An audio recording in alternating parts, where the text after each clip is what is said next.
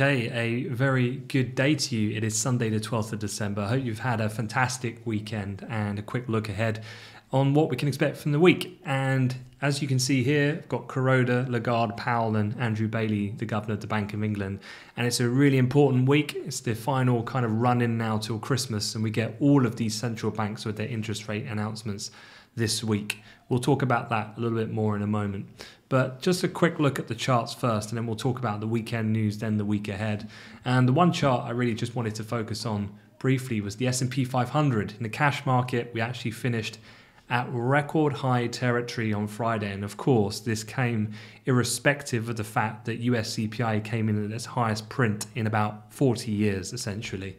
And despite then what you would imagine, which would be then this idea of accelerated tightening and therefore equities generally moving lower, equities actually rallied in a relief kind of way. And the reason for that really is that there was a lot of talk on the upside, particularly with Biden coming out looking to tame expectations and manage then a high side number. And the fact is, it came in at 6.8%, which was actually very high, but in line with expectations. And so, somewhat relief. And actually, if we put this onto a daily chart, you can see here in the futures market, it's the highest we've closed at this key kind of technical point of resistance that we've had at around 47 11 and three quarters so definitely keen to see how we end on this week and you know, do we finish as what you know historically statistically december it's the best trading month of the year um, looking at the last, I think it's 75 years worth of data. So, yeah, will the Santa Claus rally prevail? We'll find out really by the end of this week because then things will really start to quieten down once this week passes. But let's delve straight into the headlines first in the weekend and just briefly want to talk about the UK Omicron situation. Obviously, it comes after the UK announced Plan B coming into action. Um, some of it as of Monday, things like the work from home order. But the UK Education Secretary spoke today, Sunday, and said one third of new COVID infections in London are now the Omicron variant. And cases in the UK are doubling every two to three days, as we know with that timeline of what Boris Johnson announced last week. On Sunday, they confirmed 1,239 new Omicron cases, and that's almost doubled um, from the day before we saw on Saturday. Um, UK Prime Minister Boris Johnson is actually scheduled to address the nation tonight at 8 pm London time to provide an update on the vaccine booster programme amid some of these concerns with these numbers expected to go up, of course, over the case of the next few weeks. Um, we're not expecting any new form of lockdown, Plan C type measures to come in. It's most likely just going to be an update. You're probably going to be hearing from him much more because things are going to get worse and he's going to want to try appear to be in control of the situation. Um, from an optics point of view. So he's probably going to be doing those 5 p.m. press conferences, I would have thought, fairly regularly going forward now, but it's probably going to be more focused on the booster campaign. Uh, before I move on, talk about the other stories in the weekend. Don't forget, um, Piers and I, co-founder of Amplify, had a chat on Friday, and it was our final Market Maker podcast of the entire year. We'll restart them, of course, in January, but to give us both a bit of a break after we've we've done nearly 50 episodes uh, throughout the year. Um, the last one is there, and we do actually talk about what is Plan C, what might it look at, what might the conditions be that would warrant such action, and economically, what might that mean, and ultimately for the Bank of England and their decision-making process. Um, check that out, and also um, we both pitch a stock actually. Won't go into too many details at this point in time, but out of the tech titans, we both put up an argument of which ones we think out of the big boys, so Alphabet, Amazon, um, the likes of Microsoft, Tesla, who's going to actually win over the long run. And, and, quite an interesting perspective Piers gives on Alphabet, for one. Um, otherwise, the other major stories in the weekend were US and Russia. Foreign ministers of the G7 spoke today, Sunday, and they said they were united in condemnation of Russia's military buildup and aggressive rhetoric towards Ukraine. Um, the US is pushing the government in Berlin to stop the Nord Stream 2 which is awaiting certification by Germany in the event that Russia invades Ukraine, according to people familiar with the matter. Um, at this point in time, I don't really think that the market will react to any of this. It's just kind of the latest status quo. I guess the main thing is is that the G7 are all aligned at this point, but I don't think you'd expect anything other against Putin and, and Russia on this particular issue of Ukraine. So yeah, let's see um, where it goes from here. But I wouldn't be expecting any anything too great to materialize over this week. I would say, and the whole idea about using Nord Stream two as the kind of leverage point to control the Russians, I think that's nothing particularly new. They've been talking about that for a while. All right, well, let's talk about the week ahead. And actually, I want to jump back to the central banks. That really is the main focus. Um, starting off with the Bank of England here, Andrew Bailey.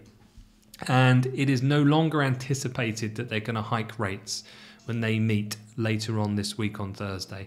Now, don't forget, on Thursday, you've got the Bank of England and the ECB literally just around 45 minutes apart from each other when it comes to the actual rate announcement. And obviously, they will come the day after on Wednesday. We get the Fed FOMC outcome that evening. So, for the Bank of England, the goalposts moved a little bit. Obviously, inflation and US CPI is coming out in the UK later on this week, and it is expected to move, I think, to a decade high as the consensus, and it's probably going to go even higher than that in future months. However, Omicron is the main thing. Now that the UK is adopting Plan B, the likelihood is Plan C will come in time. It means now that the Bank of England are likely to adopt a wait and see approach to just see how much, how impactful the lockdowns are going to be in time.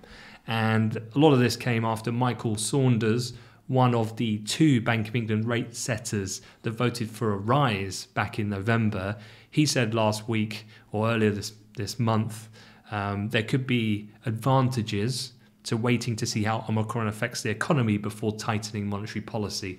Now, the fact that you get one of your most outlying hawks make such measured types um, assessment rather than just being an outlying hawkish mindset um, really seals the deal that I don't think that they can hike at this point in time. So that's the latest on the Bank of England. For the Fed, and a couple of things we can look at. Um, this is quite an interesting graphic that really shows tapering.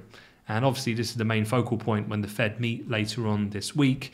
And that's because, as we saw at the end of last week, inflation at such high levels at this point in time, the labour market kind of plugging away at filling the, the pandemic void at this point uh, and the tightness of the labour market, what that might do for wages and so forth, the Fed are likely to accelerate their tapering, tapering program. So at the moment, they're reducing that by around um, 15 billion in terms of the, the size of bonds that they're re- reduction of what they're buying every month. They're likely to double down on that and take that up to 30 billion. And so here you can see this line here is when they were scheduled to end you remember the actual communication from Powell was that it would be the middle of next year, basically the summer, going on pace of when they would then look to wrap up the process of tapering. So by doubling down, we then save kind of three months, and it should be March then by the time that happens. Now, this is very much kind of expected by the markets. But don't forget that in this FOMC meeting, it's the December one. So one of the four every calendar sort of quarter will get the press conference, but accompanied by the new set of economic projections. And the dot plots with individual interest rate projections, of course, will be particularly scrutinized for where they see rates then subsequently in 2022, 23, and, and thereafter. The other one then is the ECB. And yeah, good good title here, Life After PEP. So this being the pandemic emergency purchase program, the top up, if you like, of a large magnitude size of their asset purchase program, which was in play already post or pre the pandemic. And they are set, the central bank in Europe, to reveal the parameters of future bond buying as they agree to end those emergency purchases to PEP in March, as they previously flagged. A lot of the expectation has talked about basically uh, for a short period of time upping, doubling the increase of the asset purchase program.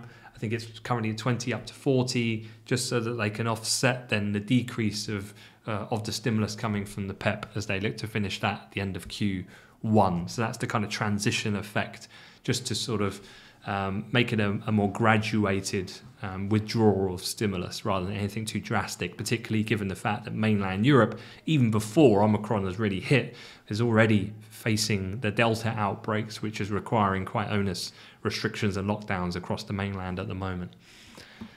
And then you've got the BOJ finally. Um, the BOJ is kind of here where they're expected to decide as early as next week to scale back emergency funding deployed last year to combat the pandemic induced cash crunch, according to sources on Reuters. Uh, and so, generally following other central banks and gradually phasing out their crisis mode uh, policies. There's one other central bank here. There are others actually that have decisions this week, but the other one of interest probably is Turkey. Um, that's because their local currency has been hammered of late and that's because their president Erdogan is just insistent on the fact that they should keep cutting rates, irrespective of the fact that their inflation rate is up at the kind of 20% region at this moment in time.